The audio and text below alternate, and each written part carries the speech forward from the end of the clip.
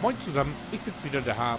Und heute spiele ich wieder Oldtimer LS auf der Oldtimers Map.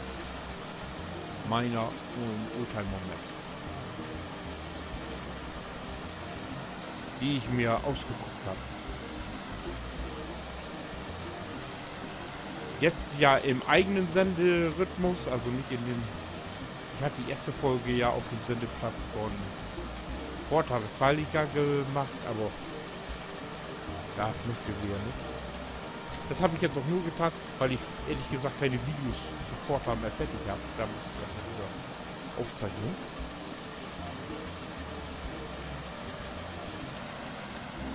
Und äh,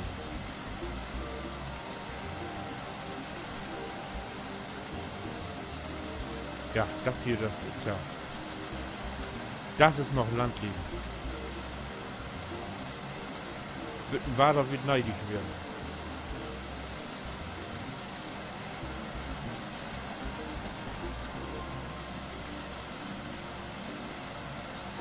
Schaut doch das Ding jetzt mal an. Da geht, oh, da geht alles, da läuft alles.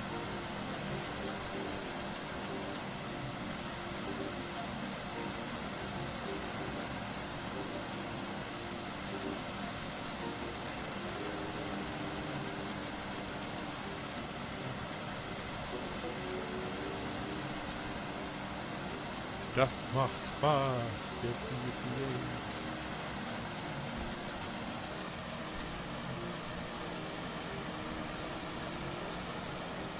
Die auch hier bei mir wird. Also, super.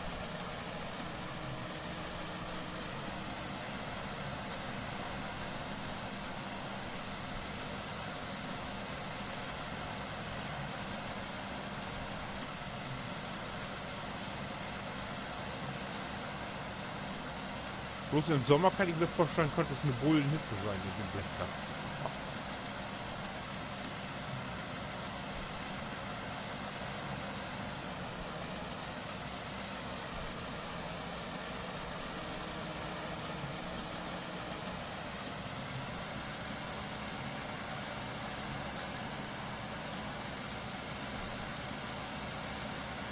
Also an diesen Mähdrescher kann ich mich nicht mehr erinnern. An den alten Fahr den es immer noch gibt, den es noch im LS 13 und so gab. Oder den es auch ja noch als Mod gibt. Also an den kann ich mich noch gut erinnern, den Kindertagen, dass da mitgemüht wurde. Dass dieses, das so ausgesehen, na gut, ist jetzt auch ein, Russe, ein russisches Modell.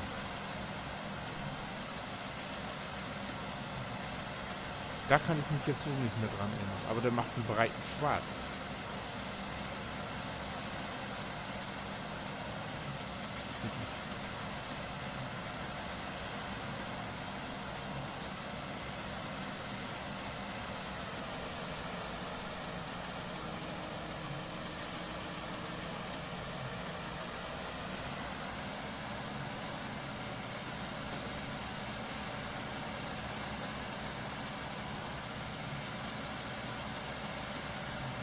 Weiß einer, wie das auf Deutsch, auf äh, Deutsch ausgesprochen wird? Kann das einer in Lautschrift schreiben? Mal interessieren.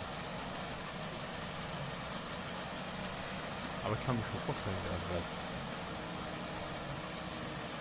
Nee, Heinz.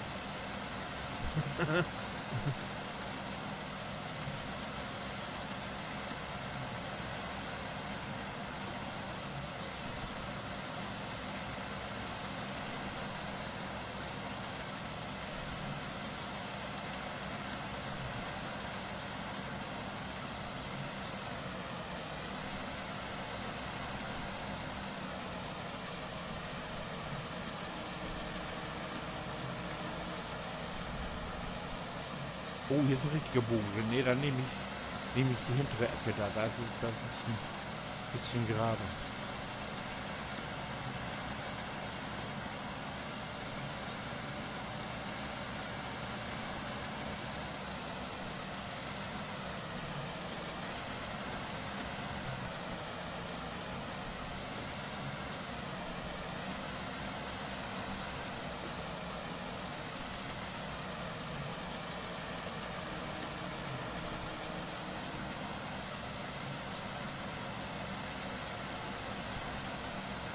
Oh, wir haben noch gar nicht von innen geguckt.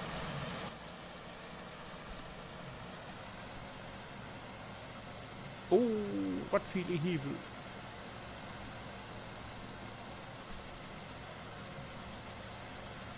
Ist das Mieweg versetzt?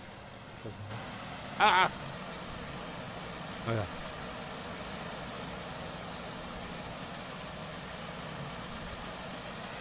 Sie sind der Meinung, das war scheiße. So.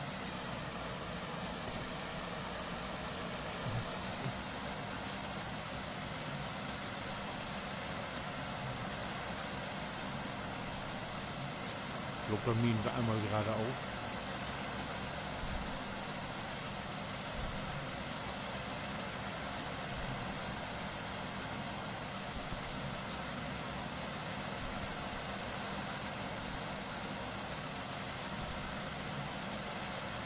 Äh. Ah ja.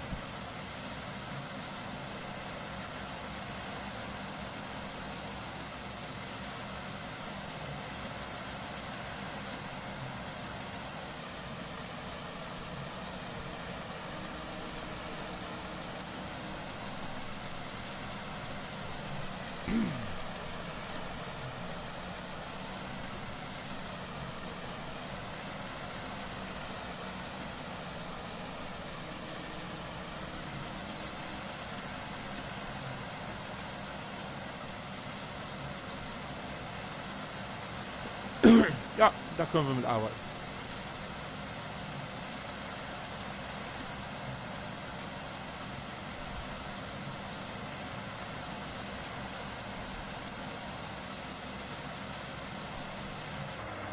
Oh, voll.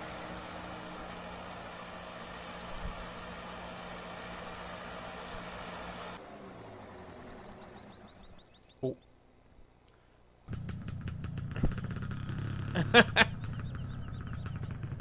Klingt ja stark.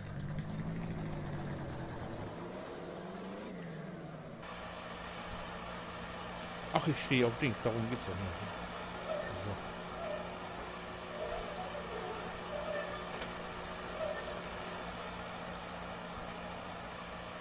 Ja, da muss ich mir jetzt erstmal Trecker und einen Ladewagen besorgen.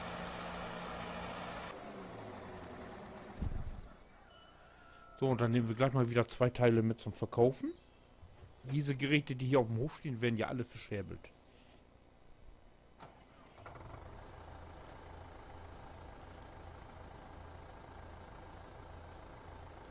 Und mal gucken, was nehme ich dann mit.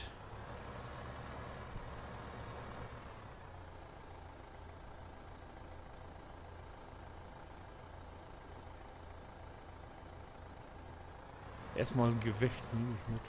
Die Dinger brauche ich auch nicht.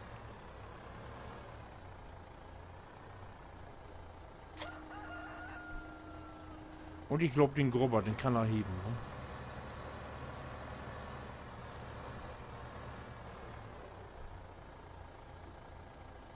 So. Ach, ich bin gar nicht richtig davor.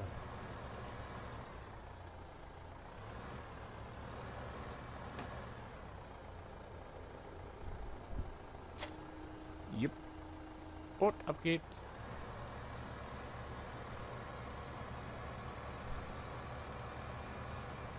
Nein, da wollte ich nicht hin. Ich wollte hier raus. Ja, da wollte ich raus.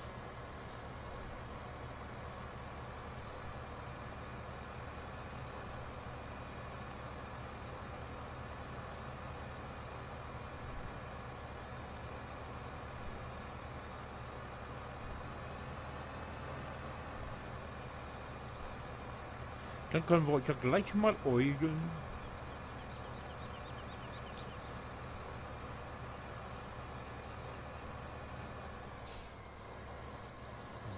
So.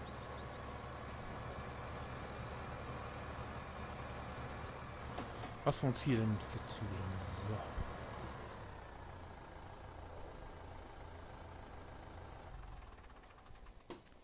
Da war's. R.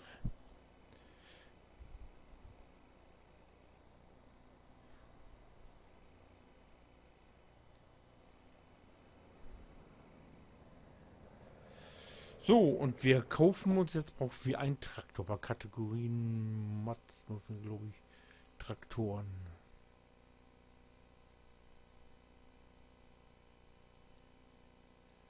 Du, du, du, du. Nee, nee, nee, nee, nee, nee.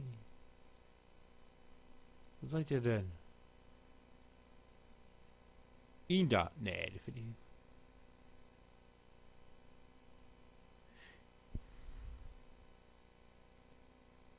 135 PS hat der Güldner, der hat 38 PS, der hat auch einen Frontlader. Der hat auch 38 PS. Brüher 72 PS. Das ist ein Lindner. Deutz. Wir haben damals da so einfach den mit den Deutz da. Hülimann, wie viel PS hat der? 55. Der Deutz hat 75. Also ich, bis jetzt tendiere ich zum Deutz. Hatz kenne ich gar nicht. Wir werden die selbstverständlich alle mal durchspielen.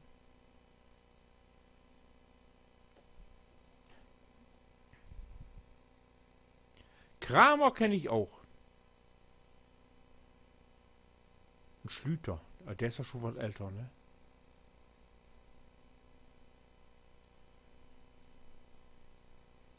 Und der Taurus ist was ganz Altes. Und das ist auch noch ein Kramer. Der hat aber nur 14 PS. Also ich glaube, ich fange mal mit dem...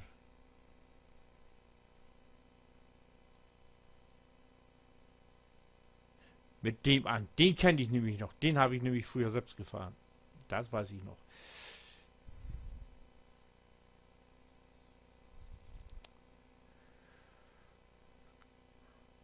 Kaufen.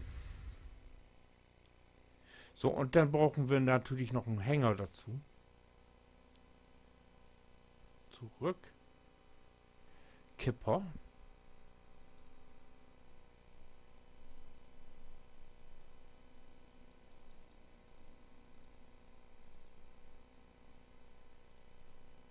Ja, ich habe da ganz schön viel drin. Ne? Getreideanhänger. 4500 Liter. Krone. Dann nehmen wir mal den. Und die haben ja alle Drehschemel. Ah.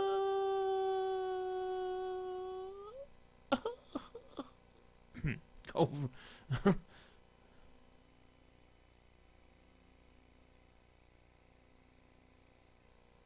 Okay. So.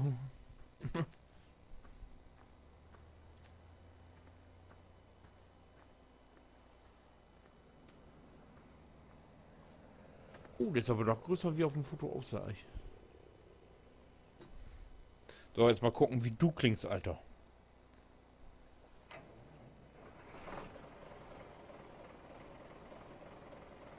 Ja, kommt hin.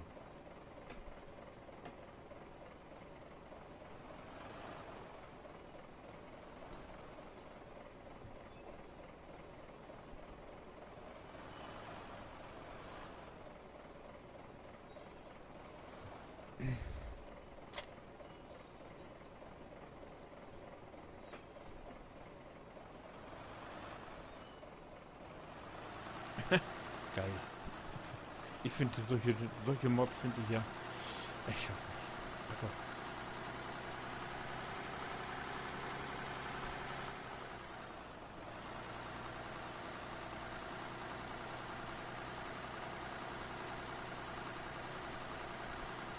Einfach 100 Pro. Okay.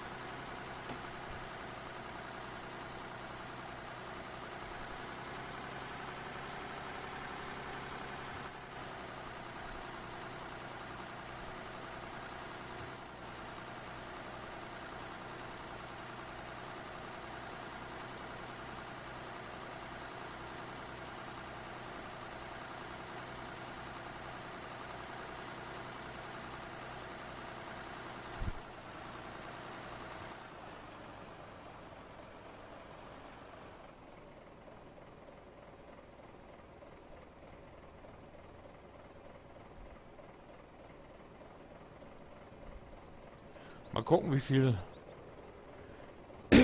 genau eine Füllung. Oder ein bisschen mehr.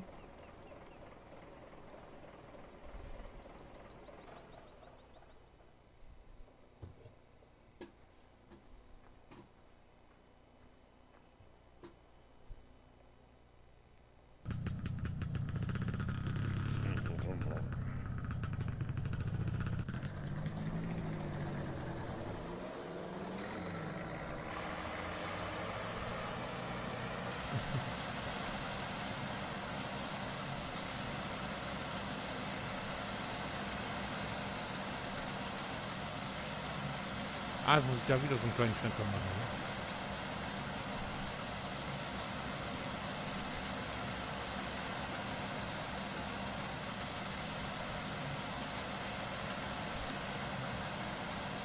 Schön, schön, schön, schön, schön.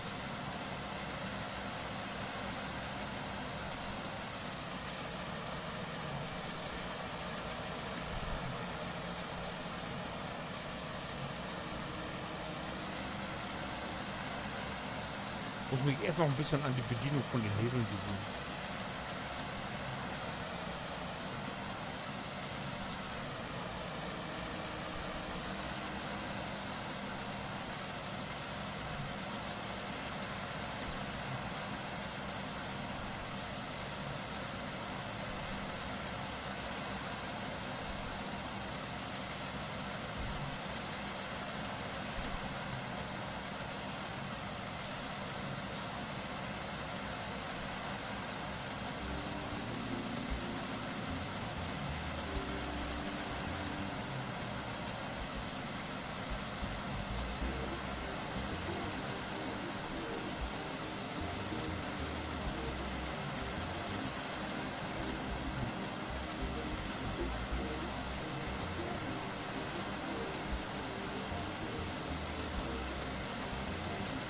Ist ja feine Sache.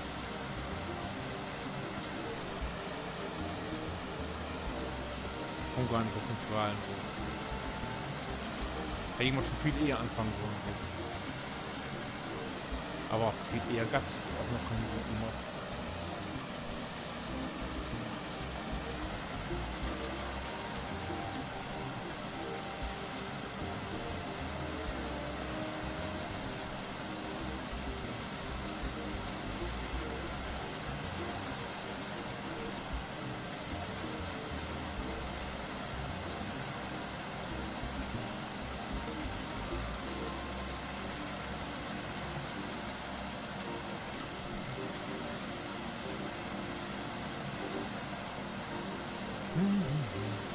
Ja, so. Und wenn ihr euch Ziele fragt, was noch haben, was haben wir als nächstes, nämlich die anderen Geräte verkaufen oder auch haben, was ist da denn wieder aufgefasst? Da schaut auf den